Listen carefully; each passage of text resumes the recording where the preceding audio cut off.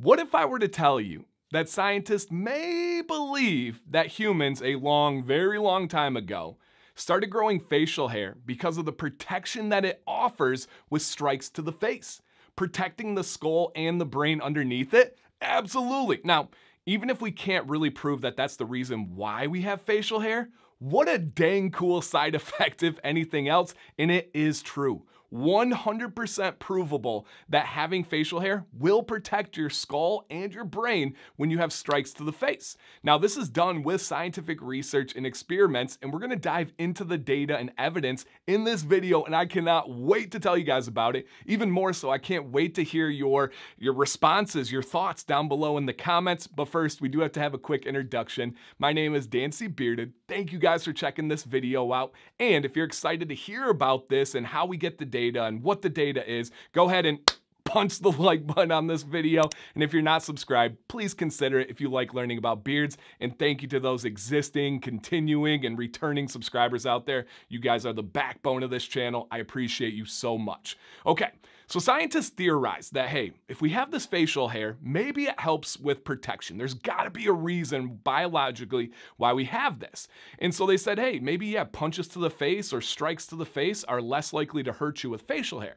then they're like, okay, how do we make a study that is valid, that is legit, that will show that this is true or not?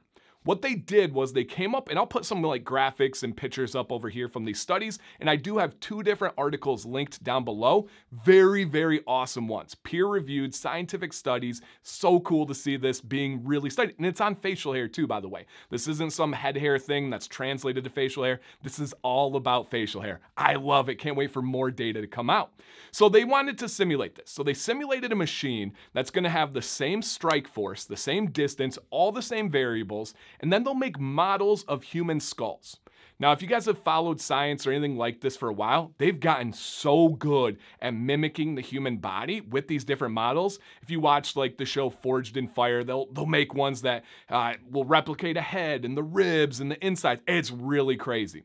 So they made 60 different models, six zero. We're not talking about like one, two, and three. 60 different models with varying shapes of facial hair and sizes of facial hair, but they broke it down into three categories and they spread it out evenly with these models.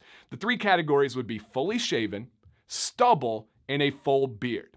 Now, when they went into these, listen to the results. The fully shaven face with the same strike force as everything else, 100% of the time had a crack to the skull every single time it absorbed all the force and took bad damage.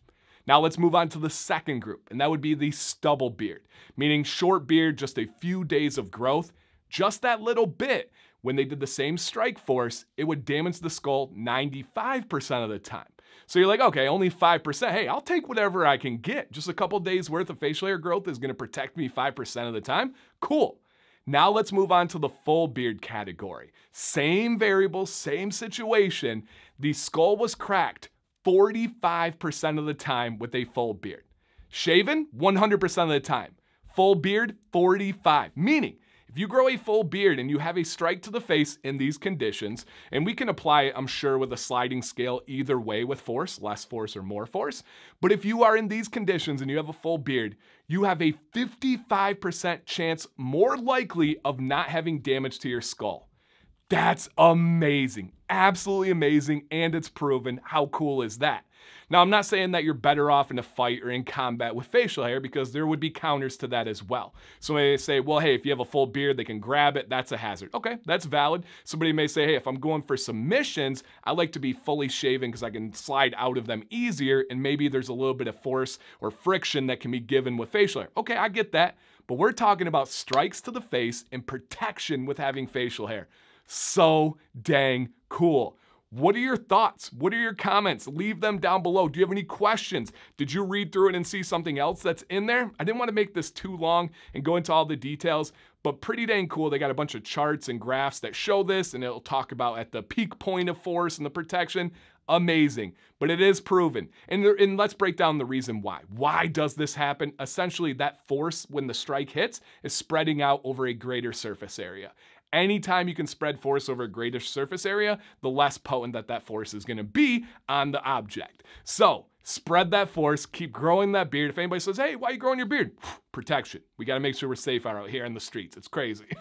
so thank you guys for watching please do me a favor, leave me a comment, even if it's just like, whoa, that's crazy, or I always knew that, or I read that study. Anything down below would be amazing on this video. Thank you guys for watching today. My name is Dan C. Bearded. Stay bearded and stay positive.